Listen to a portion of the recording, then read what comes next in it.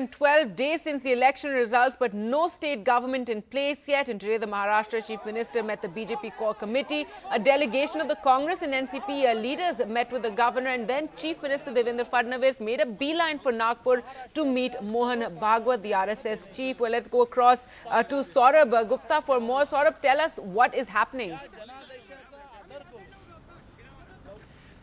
Lots actually in the fact that Devendra Fadnavis rushed to Nagpur after that core committee meeting held in Mumbai. Now, at that core committee meeting, an appeal was made to the Shiv Sena to talk to the BJP.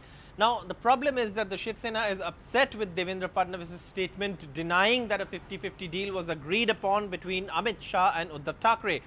Now, of course, the Sena uh, leader, who was a farm activist, farmers' rights activist, who's now with the Shiv Sena, Kishore Tiwari, wrote to the RSS saying for the sake of Hindutva that, you know, the RSS should intervene in this. Now, today, of course, Devendra Fadnavis is going to the RSS office to meet uh, the RSS chief, Sar Sanghchalak Mohan Bhagwat, and also we are being told Bhaiyaji Joshi. So, obviously, this is something that is a developing story.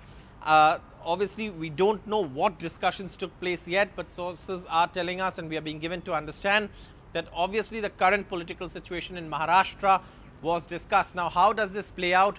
We are being told that the BJP is going to make a representation to the Sena, offering them a formula while insisting and maintaining that the chief minister's position is going to remain with the BJP.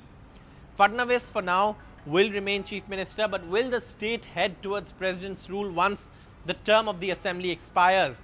If there isn't support that is mustered by then, that could be a possibility.